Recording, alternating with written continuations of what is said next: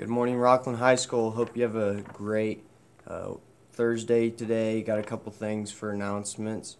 Uh, today's internet uh, dress up day is wear a tie, and there's a ACT test coming up.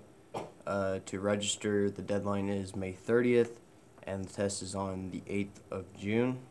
High school track has a meet on Friday in Grace, and the bus will leave at 9 9:30 in the morning. Baseball also has a uh, two games against Highland JV on Friday, and that's going to start, I believe, at 3:30. And today's breakfast is breakfast bar, and lunch is chicken burger. And looks like that's all for announcements. So we stand and following the pledge.